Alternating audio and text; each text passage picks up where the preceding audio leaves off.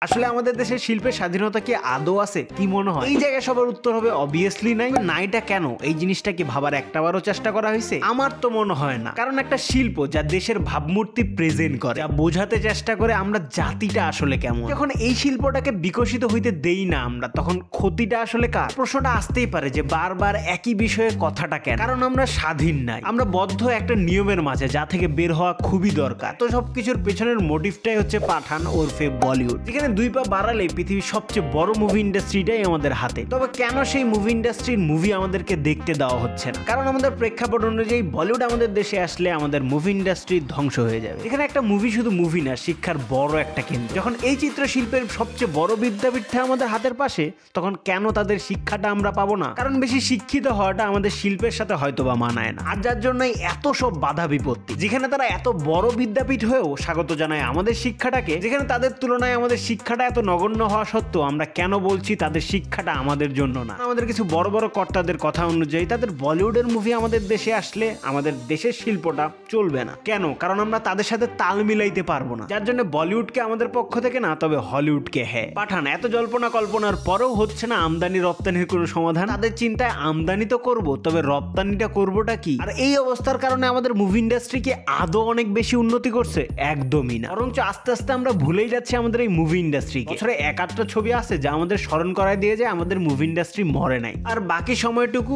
এক কথায় না। তাহলে কি খুবই উন্নতি হইল বলিউডটাকে না আসতে দিয়ে? বর্তমানের অডিয়েন্স বুঝতে শিখছে, তারা জানে কোনটা নিতে হবে, কোনটা না। তাই এই শিল্পের স্বাধীনতার মাঝে আমাদের রাখতে শিখো, তাহলে হয়তো বা আমাদের মুভি ইন্ডাস্ট্রি একসময় অন্য একটা পর্যায়ে চলে যায়। যার জন্য আমাদের মিশতে হবে, শিখতে হবে, জানতে হবে। শুধু এক কেন্দ্রিক, একচেটিয়া মনোভাব রাখলে কি আর হবে? বলিউডে এত বেশি কামাই করবে, আমরা কেন পারব না? কেন পিছনে আমাদের শিল্পের বিকাশটা যেন লুকায় আছে। কেননা স্বাধীনতাটা অনেক বড় একটা জিনিস। শিল্পের স্বাধীনতাটা যদি স্বাধীনভাবে বিকাশই না হইতে পারে তাহলে ভালো কিছু প্রেজেন্টই হবে না। যেখানে রিসের সবচেয়ে বড় উদাহরণ হচ্ছে ফারাজা শনিবারের কেল একই মুভি একই গল্প একই ধাঁচে প্রেজেন্ট করা। তবে আমাদের সেই শিল্প ইন্ডাস্ট্রির বিশাল বিশাল প্রশ্নের বেড়াজালে আমাদের শনিবারের বিকেল বদ্ধ। আর এদিকে বলিউডের ফারাজ বুকুচিয়ে বলে এটা কোনো ব্যাপারই না। আর যা দেখে আমাদের শিল্প ইন্ডাস্ট্রির কারিগররা ভাবলো না এবার ছেড়ে দেওয়া যায় এই শনিবারের বিকেল এখন একেবারে গ্রিন সিগন্যাল পাওয়া। আমরা মুক্ত তবে অন্যকে অনুসরণ করার পরে আর যে জিনিসটাই আমাদের শিল্পটাকে নিয়ে যায় বিশাল একটা দূরত্বে তখন সেটা একসেপ্ট হবে না কারণ সেই কনসেপ্টটা ভিন্ন। আর সেই ভিন্ন কনসেপ্টটা যখন